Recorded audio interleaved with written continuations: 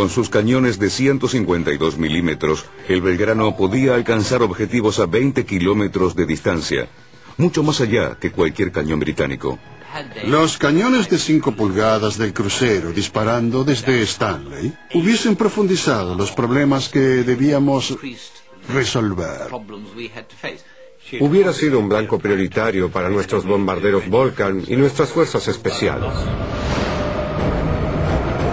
El primero de mayo, la Armada Argentina intentó una maniobra sobre la flota británica con el portaaviones 25 de mayo por un lado y el crucero Belgrano por el otro. Intentó hacer el ataque el día primero a la tarde.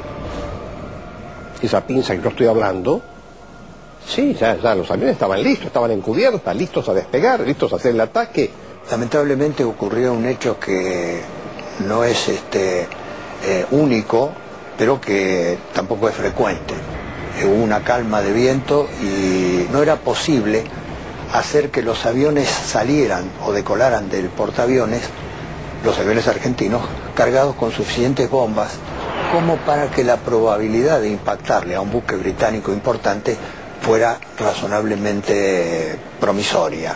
Eso obligó a que se le empezara a sacar un poco más de combustible, o algún armamento a los aviones que se iban a lanzar y por lo tanto el portaaviones debía acercarse más al objetivo para que tuvieran suficiente combustible de ida y vuelta.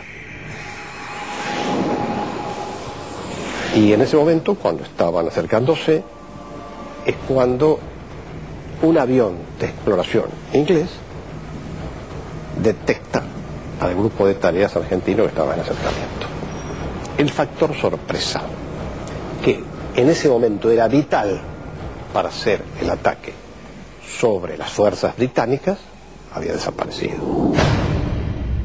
Los argentinos abandonaron el ataque demasiado tarde. El crucero Belgrano fue hundido por dos torpedos lanzados por el submarino nuclear Conqueror. Los proyectiles que lo hundieron también habían sido fabricados con tecnología de la Segunda Guerra Mundial. Con el Belgrano se perdieron 323 vidas, la mitad de las muertes argentinas durante la guerra.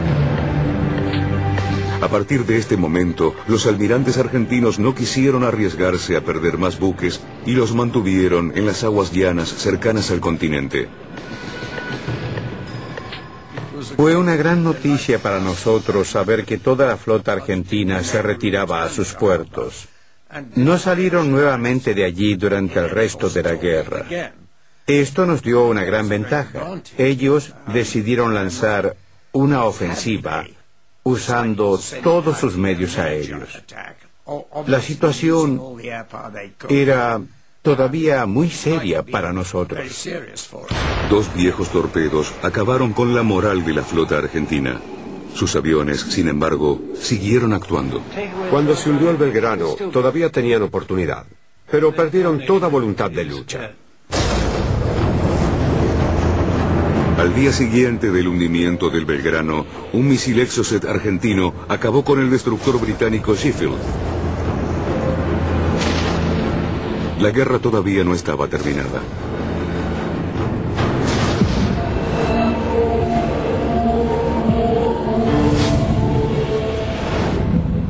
En la noche del 20 de mayo de 1982, las fuerzas británicas comenzaron el desembarco en las Malvinas.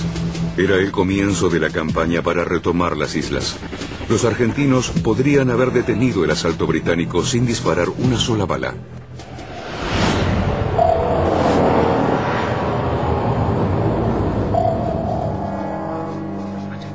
No creo que hubiéramos podido hacer mucho.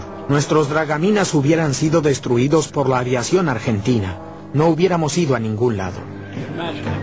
Imaginen el caos que podrían haber causado. Las minas hunden barcos y nuestro comando estaba a bordo de ellos. Hubiéramos tenido que volver a casa. El único modo que teníamos para saber si habían colocado minas era enviar un buque y ver si explotaba. En Malvinas tuvimos 37 de estas.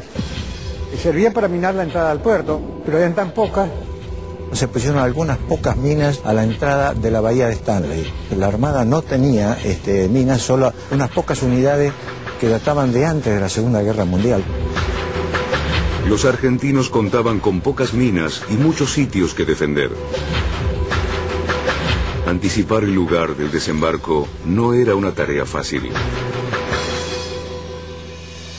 Yo me acuerdo que en mis exposiciones, cuando fueron los comandantes en jefe, le dije que en Malvinas había no menos de una docena de lugares donde el desembarco era perfectamente factible.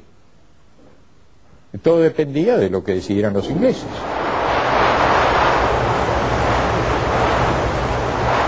Cuando un atacante de un archipiélago o de una isla tiene superioridad naval y aérea, puede elegir el lugar del desembarco como quiere. De manera tal que para el defensor el problema se hace muy grave, porque no puede organizar una defensa en todos los lugares posibles.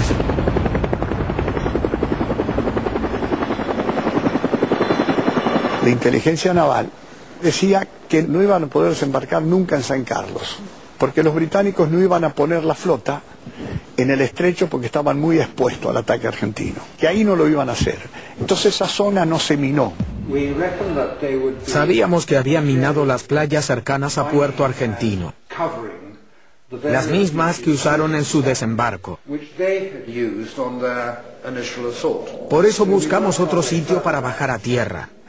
Comenzamos a trabajar y finalmente llegamos a la conclusión que por sus aguas profundas, el mejor lugar era San Carlos.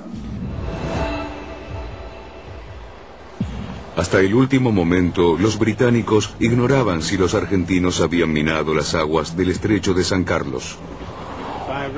Llamé al capitán de la fragata Alácrate y le ordené que recorriera el estrecho que separa las islas de norte a sur. Él me dijo, bien, voy a entrar y salir del estrecho desde el lado norte una y otra vez. Nunca le expliqué que debía verificar la presencia de minas. Me sentí muy avergonzado por no haberle dicho la verdad. Él supo exactamente lo que le pedía e igualmente cumplió la orden.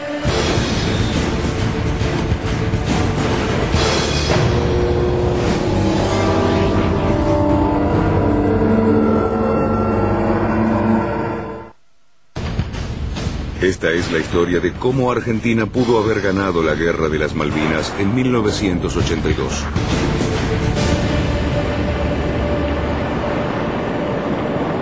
Una vez en las aguas de San Carlos, los británicos esperaron una ofensiva argentina. El desembarco es el momento más vulnerable para cualquier fuerza anfibia.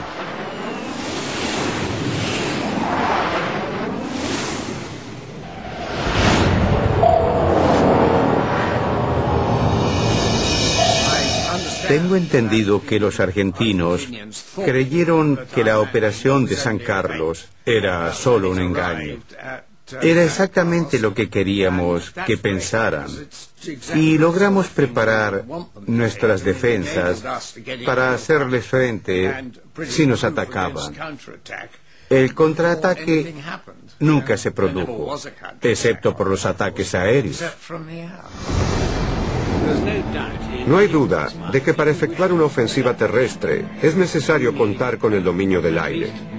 No hablo de un dominio total, sino del suficiente para avanzar por tierra sin pérdidas excesivas.